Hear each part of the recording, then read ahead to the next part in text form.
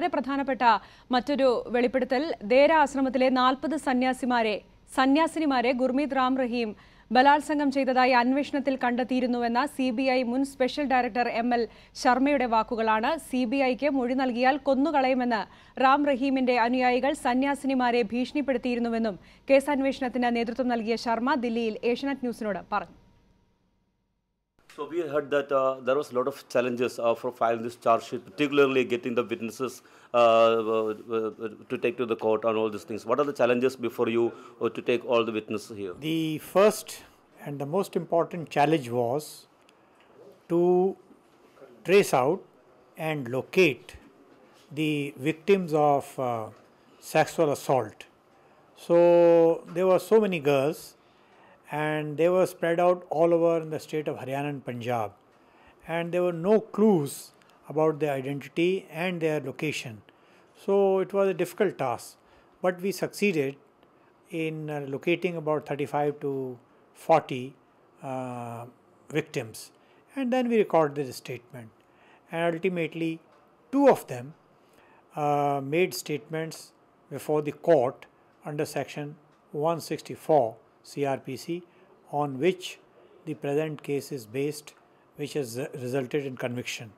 Uh, what has happened uh, in the other case of the 33 people who were actually you identified but didn't come to the court and uh, give, give the statement? Actually, because of fear psychosis prevailing, and even now fear psychosis prevailed, so they did not come forward to make a statement, even though they were victims of sexual assault. What, what kind of uh, circumstances they had to face at that time? Any pressure? Generally, these girls were families who were blind devotees of Ram Rahim. So when they would talk, uh, talk to their families about this kind of uh, unlawful activity, the families won't believe them.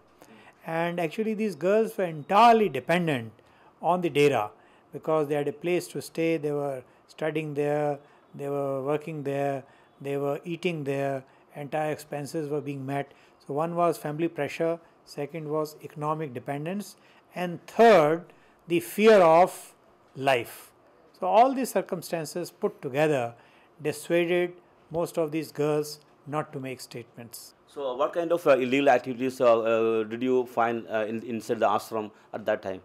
See, uh, we are not local police. We can't inquire into everything that happens in the ashram. We are, as CBI, given a specific task.